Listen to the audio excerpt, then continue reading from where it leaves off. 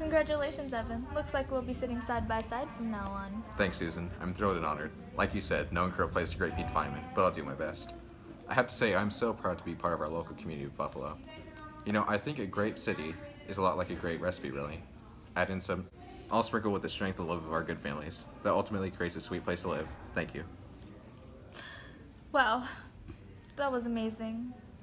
And now let's go live to the wacky Bruce Nolan out at Niagara Falls.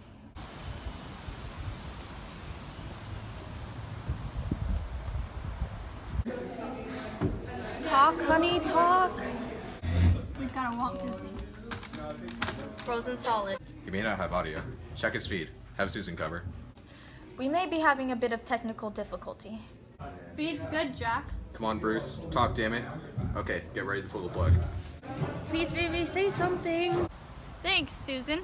I'm Bruce Nolan here aboard the Maid of the Mist at Niagara Falls. Thank you, God. Thank God. First off, I want to add another congratulations to Evan Backstabber. Bastard, I mean Baxter. It's good to see what someone with real talent can accomplish when great opportunities are given to them instead of me. Anyways, I'm here, I believe, with Katharine Hepburn's mom. Tell me, why'd you toss the blue heart of the ocean over the railing of Titanic? Did you feel guilty at all letting Leonardo DiCaprio freeze while you were safe floating on the big door? Do you think he would have survived if you had taken turns, or were you too afraid to freeze your big fat ass off? Did I just hear? Well, I guess that's the way life works, isn't it? Some people are drenched, freezing to death on a stupid boat with a stupid umbrella, while others who aren't fit to kiss my willy are sitting in a nice, comfy newsroom, sucking up all the glory. This isn't happening. This isn't happening. Now let's speak to the owner. Come on in here, Bill. Bill, you've been running the Maid of the Mist for 23 years. Tell me, why do you think I didn't get the anchor job?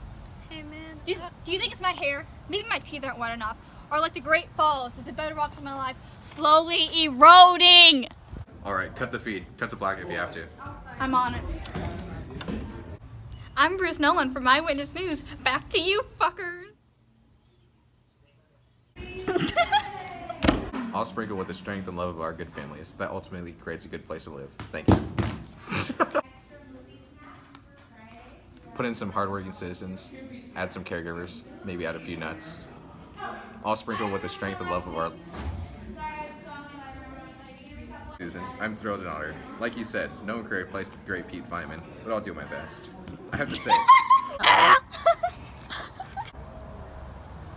This hurts really good. Did you feel guilty at all letting me out of DiCaprio? First off, I want to add another congratulations to Evan Bath.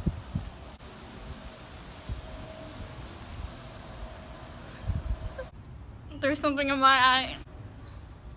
Are you sure? Not really.